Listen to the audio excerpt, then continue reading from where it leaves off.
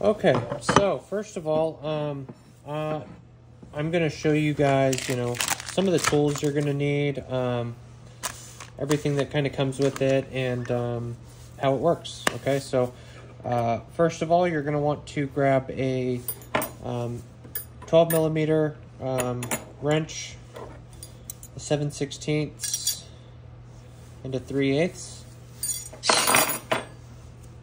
You're going to want to grab a number 3 Imperial T-tool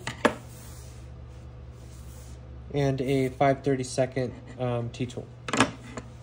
Uh, also, you should have gotten a bag uh, like so um, with all the tooling in it. Let's just go ahead and get that situated. And I'll go ahead and um, grab an upper as well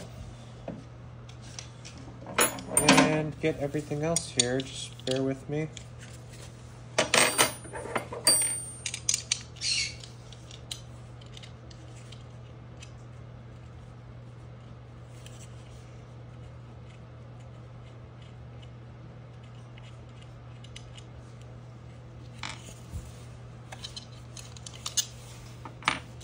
And we're going to start with an AR-15. Uh, the process is going to be the same from model to model. Um, and you're going to want the adapter. You're going to want the buffer tube adapter, which bear with me.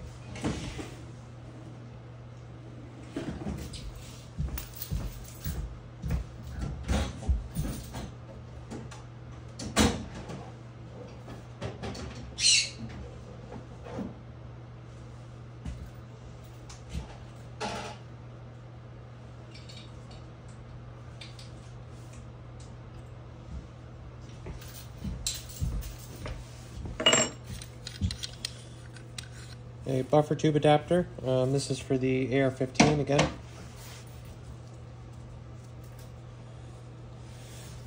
And uh, then just make sure that you have the spreadsheet pulled up. Uh, so let's jump into it. Uh, first of all, you're going to grab the bag with, um, you find it.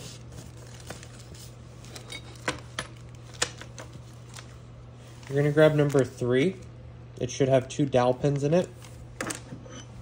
These are 3 16th by 5 16th dowel pins. They're going to go in the bottom of the left upright. Now the left upright is the one with the flat bottom, not the one with the bottom with the half circles bored through it.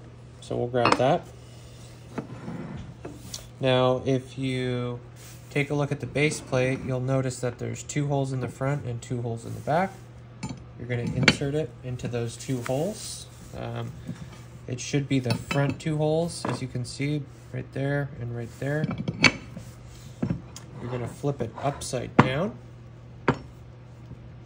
And you're gonna grab the uh, bag number four, which is going to be the 1024 by half um, socket head cap screws. Those will thread in through the bottom. Grab the 532nd wrench or and screw it in.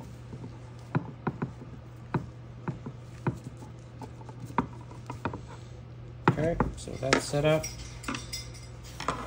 Uh, now for all intensive purpose, purposes, you're going to have a bag with a T-tool in it as well, or a T-nut, excuse me. That will just go right there on the bottom of the base plate. Okay, you'll flip it over.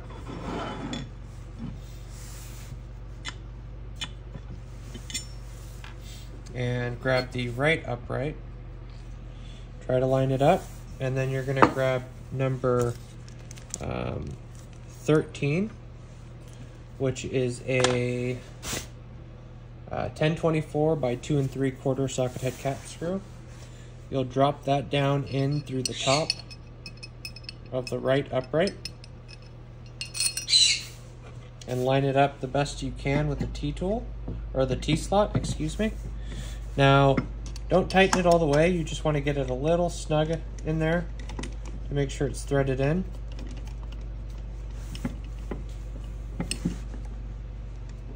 You want to still be able to move it back and forth, just like that. Then grab your lower receiver that you're going to mill. Um, you're going to thread the buffer tube adapter on.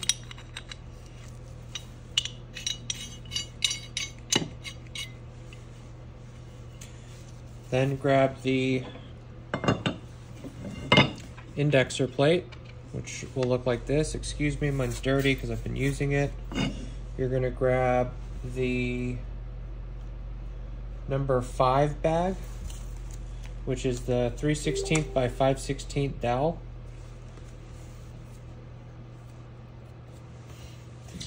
Then you're going to align the dowel pin and the um, indexer plate and there should be a hole on the back of the buffer tube adapter. Make sure that's tight. Okay. Then you're to grab the, let me find the bag.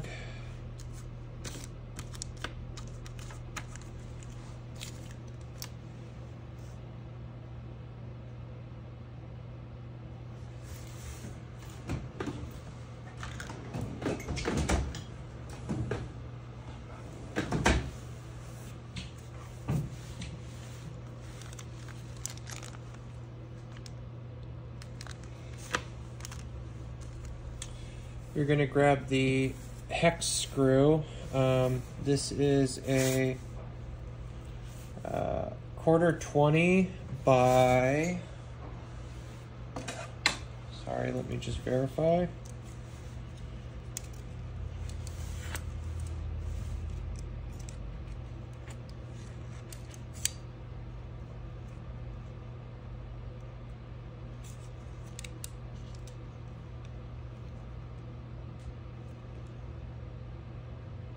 By 1.39 um, and that's going to be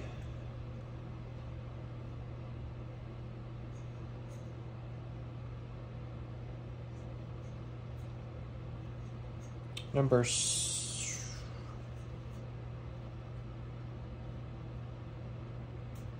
say number number seven excuse me. That's going to thread through on the first hole, as you can see, and then you'll line up the buffer tube adapter, or the, the indexer plate to where it sits there. Uh, excuse me, before you do that, grab your, your takedown pin adapter. You're going to line that up the best you can there.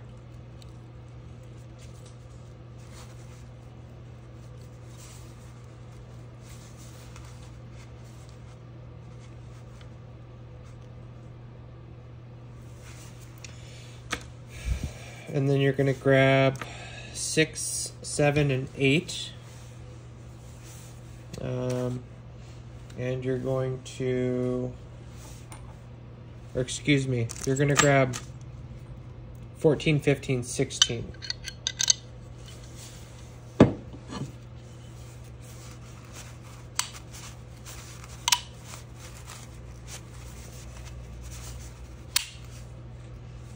You're going to thread that through just like that, as you can see. You're going to grab the washer.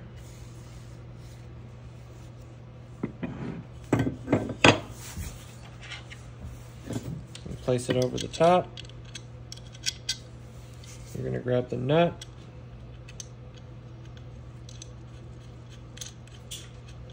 Screw that down. Try to get it lined up a bit. You don't have to tighten it until it's on the fixture. Then put on the uh, indexer plate. Boom, just like that. Put the indexer plate side in the front hole. Then loosely thread the, the hex screw through that side. And then you're gonna line the buffer tube side up with the back or the second hole and make sure it's it's straight. Just like that. And once it's straight you're going to want to tighten it down through the right upright. You're also going to grab the half inch hex thread it through on that side. Again, it's in the second hole position.